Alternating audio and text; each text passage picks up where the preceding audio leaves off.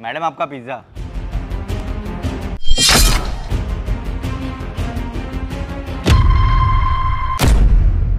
अरे मैडम आप ये क्या कर रही हो? आराम से खाइए आप ही का पिज़्ज़ा है। रेशम।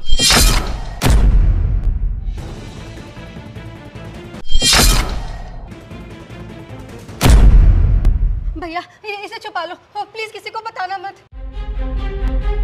रेशम। क्या हो रहा है ये सब? तुमने पिज्जा ऑर्डर किया है? दिमाग खराब हो गया तुम्हारा? इधर आओ। नहीं बेबी ये मेरा नहीं है। वो डिलीवरी वाले से कोई मिस्टेक हुई है। वो मुझसे सिर्फ़ एड्रेस पूछ रहा था। मैं भला क्यों पिज्जा ऑर्डर करूँगी? मुझे बेवकूफ़ मत बनाओ।